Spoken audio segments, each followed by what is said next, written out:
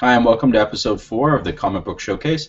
I'm Jamie Hari, and I'm joined by Billy, Rab, and Mike. Uh, let's jump right in. We're going to talk about Batman. It's just uh, we just passed March 30th, the 75th uh, anniversary of Batman, and we want to talk a little bit about why uh, he's so interesting and, and how he's managed to survive for 75 years with uh, ever increasing popularity. So I'll jump right in. Uh, Mike, why don't you tell us a little bit about why you think he's so interesting? You know what? Ba- what makes Batman so interesting is the fact that like almost everyone knows about him. Everybody can say that they've had some interaction with Batman throughout their lives, whether it's something that got passed down from your father as an interest, or it's just something that you picked up on his own. And then the fact that there's so many different Batmans out there, it just like it adds to the mystery of the character. There's not just one that you can associate with. There's multiple Batmans over multiple universes, over multiple wor- worlds and even in multiple mediums. You have comic books, you have movies, you have video games. Um, it just makes Batman even more relatable than he already is. And the fact that he's just like the average human being when it comes to fighting crime, doesn't have a superpower, although some may say that his wealth is his superpower. It just Batman is a very relatable character to some people. That always makes me angry. Uh, I remember, uh, you know, like when you're in kindergarten arguing with people, there are so many people out there who talk about how Batman isn't technically a superhero because he doesn't have superpowers, and that always, that always seemed like I don't know exactly how to define superhero, but it's very clear that Batman is a poster boy of that subset. Yeah, I've there's- I never don't understand why there's a disagreement there. I've never really seen him as a superhero. I've always liked the great detective or the detective role that Batman mm. is. Like he's really good at doing some really good things and has some really really good skills, so that makes him like a good detective, but I've never seen him be a superhero. I've never thought of him as the hero. Not I like the way that Superman is. I feel like it crosses the line from like, oh, he's like a Sherlock Holmes type detective when he's like punching gods in the face and like going one on one with Superman. I feel like there's at least like a, a power class level at that point. See, when you say when he goes against Superman, I always see him as not actually like. I don't really see him as a physical match ever to Batman without Kryptonite as his crutch. I always see it as he's an intellectual superior to uh, Superman, and that he's able to go against him that way. But is that I is that all that being like if if that's the case, is Green Lantern not technically a superhero because all he is is a ring? Well, I guess the ring gives him the ability to become a superhero. Yeah, so let's bring it back. So why, why, what has made him so interesting? I mean, we talked about how he's been uh, very relatable as a character, but is that really the truth? Do you really relate to being a billionaire with, uh, you know, a jet and a boat and a bat cave and, uh, you know, uh, philanthropic playboy? Like, uh, so I, I don't know if relatable is the right way to go, but um, I generally speaking, I would say that's that's Bruce Wayne. That's not Batman. It's true. So so punching much- people in the face and fighting crime in the shadows is also something relatable. I can completely relate to that. I think I think the popularity of Batman is almost kind of the opposite. Where there, uh, this tends to be people talk a lot about the differences between Marvel and DC, and I think on the whole, Marvel's tend to be Marvel's heroes tend to be more relatable, whereas DC's heroes tend to be more of like an ideal that you would aspire to. And I love Batman so much not because I identify with him. He's like Batman is crazy and insane in ways that I could never ever hope to be. Uh, but at the same time, he's like this ideal of human perfection that you look up to, and and you view as it's like watching like a professional athlete who I know I'm never going to be as good as, but I think like that's the guy who inspires me to try and be a better person. I like the way that you mentioned how Batman is crazy because anyone who says he's not is crazy unto themselves. Because how can you not be crazy dealing with what Batman has gone through? I mean, the death of his parents. He's put his body through immense physical and like mental training as well to come back and have to deal with these uh, crazy villains that you have to deal with over and over and over again. Like, how could he have have not snapped at any point in time throughout his career as Batman? Like he is one of the most craziest people out there. I think it's not so much that he has a lot of money or that he's trained a bunch that makes him relatable. What makes him relatable is his pain to some extent. Like it's, I mean, he we aspire to his achievements, but we ha- we don't aspire to his pain. We relate to his pain, and his pain is that he lost his parents, and in some ways that has made him crazy. But we have all experienced loss in some way, and his loss is our loss as we read it, and that's part of our sharing in his experience and wanting to be. Now, we don't want to lose our parents, but we want to have the same. We want to know that we can deal with our pain in the same kind of good way, as opposed to turning into someone much worse, like the Joker. But what? Okay, but what? What has made him survive and endure uh, for 75 years in the hearts and minds of, of readers. The reason uh, Batman endures so heavily, I think, is because he's such a simple idea that it's so easily to explore in so many different ways. Uh, where when you look at other characters like like Superman, they try to do a lot of alternate universe stories about Superman, and he only really works in the context of this farm boy like moving to the big city stories where it's like Superman in medieval times. Look great. Nobody can like obviously medieval guys are not a threat to the friggin' dude who can push planets around. Uh, or Spider-Man. Spider-Man is a great character, but this like coming of age story about uh, somebody going through only really works in like starting in a high school and Spider-Man only works in like a big city, whereas Batman is this very very simple core idea of a person who experiences tragedy and is inspired by the fear and pain that he feels to make sure that doesn't happen to anybody else. When you compare him to Superman, I think Superman is sort of has baggage in that he's an alien and yeah, that's, Superman's got a lot of like weird, complicated stuff in his history that makes his story very, very specific. Whereas you can throw Batman into the Industrial Revolution or into medieval times or anywhere, and he as always feels totally comfortable wherever you drop him. I think the problem with when you say that they throw Superman into these different like times or different eras is they don't compensate for like changing or altering his power set where they should to make him more relatable to that time period. Whereas, like as you say, with Batman, they completely can just drop him in and he fits. It doesn't matter where he is, especially with the most recent run after his death, where they brought him through different time periods, dealing with different situations. It, they didn't have to alter him at all. It was the same person. It was Batman, basic core Batman, going through these situations and handling it.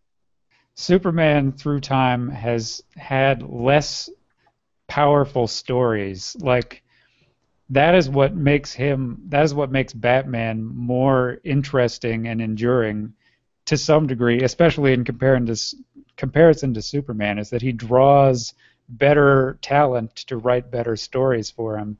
And you'd expect Superman because Superman is this big ideal that everyone has, you'd expect him to have better stories, but because he's so powerful, because he has that weird alien heritage, it makes it harder to come up with a really strong story that doesn't involve the planet being invaded by aliens in some way. Whereas Batman can have a really strong story that's got that's that's tight and closed in and set in Gotham City and has nothing to do with aliens because he's a man and he's a guy who's just dealing with some crazy people.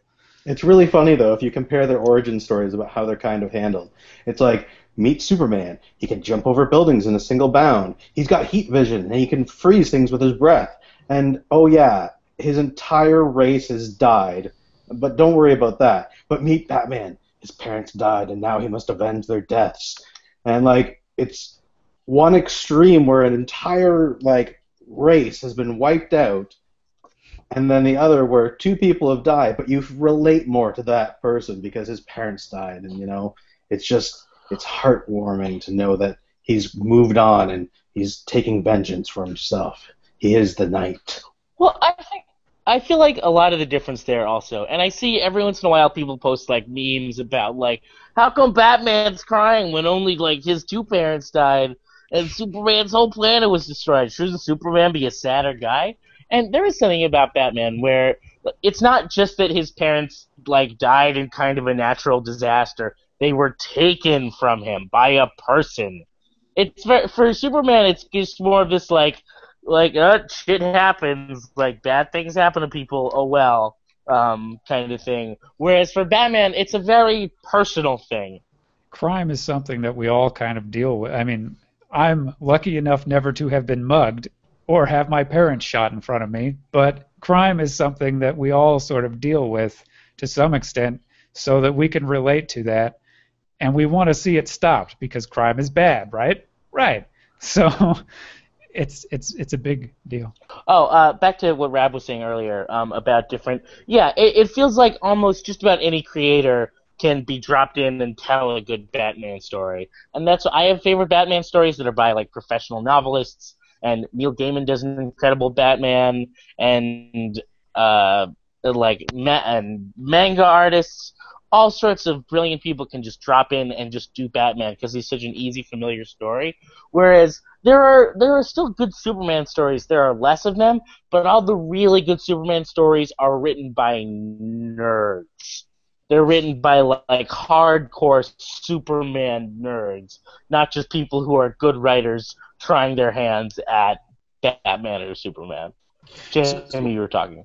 So and I think that on that note, uh, there have been a number of uh, iterations and variations and combinations of Batman uh, through various types of media, comic, obviously, uh, anime, as you mentioned, but also uh, television, both animated and to live action and the movies.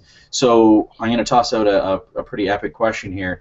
Uh, which one's the best and why? And the, the correct answer is not always Kevin Conroy. My favorite right at the moment would have to be the video game Batman in the Arkham series that's going on right now. I mean, they've created a really good Batman that's um, kind of, I guess, like a classic take on the classic Batman.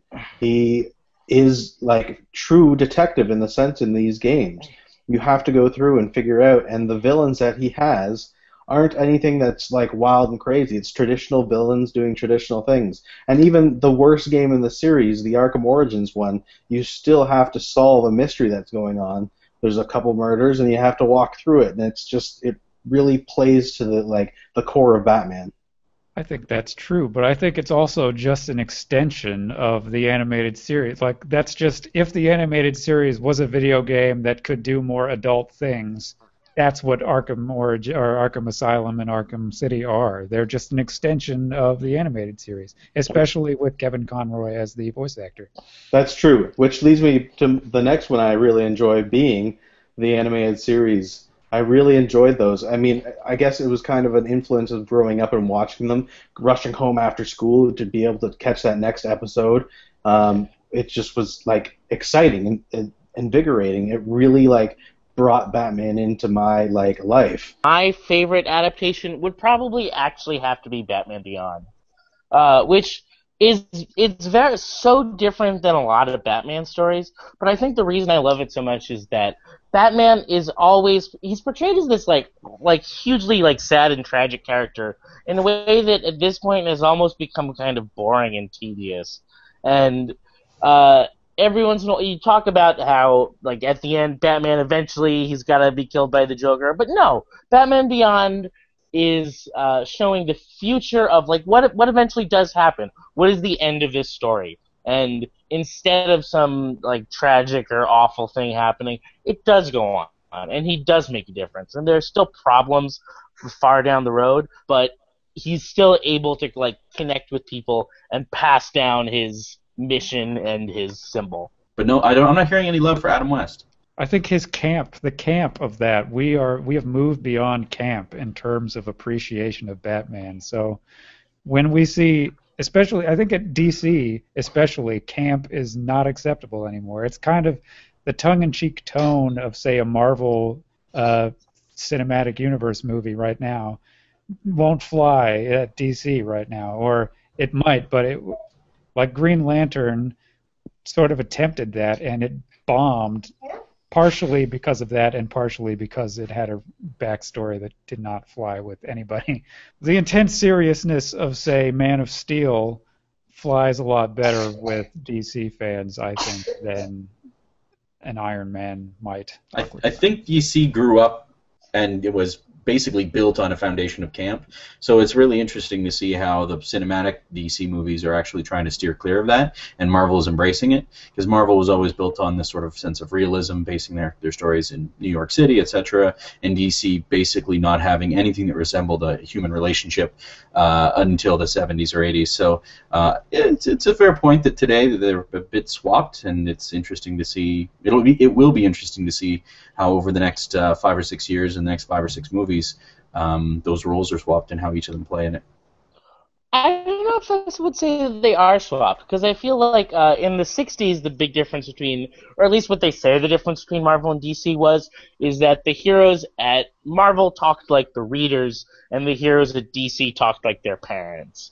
So like Spider-Man and the Hulk would be saying realistic things that you like. Oh, I can relate to that. Whereas Batman and Superman would be the like, eat your vegetables and don't kill anybody, uh, and that and that was like boring at the time. But they've sort of evolved into this place now with the movies where Marvel movies are, you know, like people arguing with each other and these like pitty little conversations, and it's fun watching them sass each other. Uh, and I guess that's we kind of think of that as camp, but it's very true to like that's what made Marvel such a big thing when Jack Kirby and Stan Lee were first publishing Fantastic Four.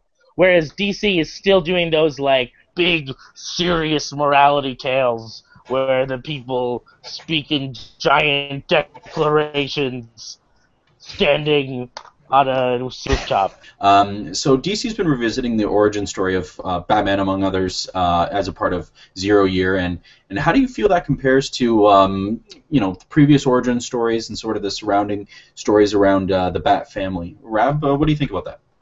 Well, I think it's it's a very different story. It's a modern story. The Z- Zero Year story is compared to say, well, the original the original story wasn't even really an origin story. Well, it was an origin story, but it wasn't a story around the story. It was Batman's parents got killed.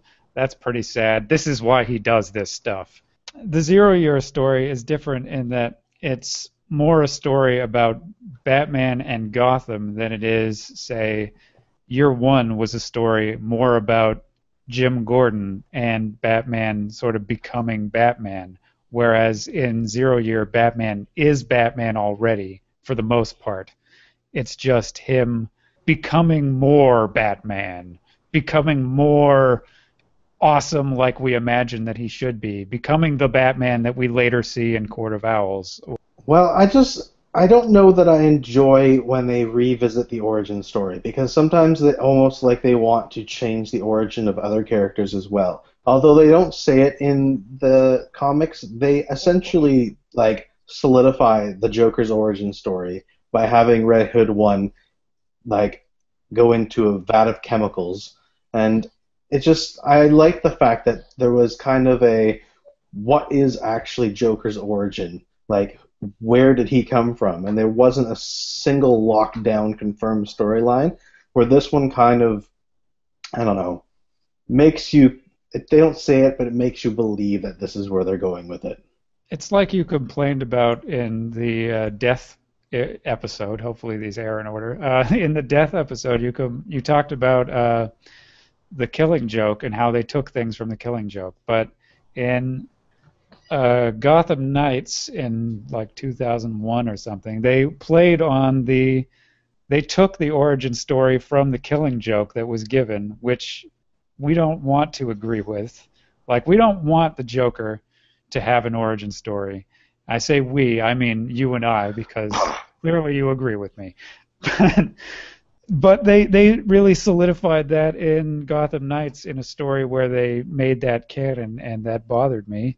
And now if they do the same thing again, it's just more of the same things, them doing things we don't like. Yeah, I feel that like the one thing that makes Joker as a character is the mystery behind him. is that he's the one of the characters that you don't know where he basically started out from. We know that Cobblepot, like some of his origin stories. We know a bit about like where Enigma was before he was the Riddler. Uh, we know about Freeze and where he was with his wife, but with Joker, it was kind of just I don't know a mystery, and I enjoyed that. You don't need to know. Like No. that's his identity is that he is a ridiculous, crazy dick. That's his identity. All right, I think uh, I think we've pretty much beaten the topic of uh, Batman half to death, as is often the case um, with Batman. Um, so I think we'll wrap it here. Um, we had a lot more to a say, uh, which you can with a crowbar. All right, and that's the end of the episode for this week. Thank you for so much for joining us. And that's a wrap for another episode of the Comic Book Showcase. Join us again live via chat or Twitter next week. Like us on Facebook or follow us on Twitter. And to learn more about today's topics, check out the Marvel and DC databases on Wikia, the ultimate resources for comic book information anywhere.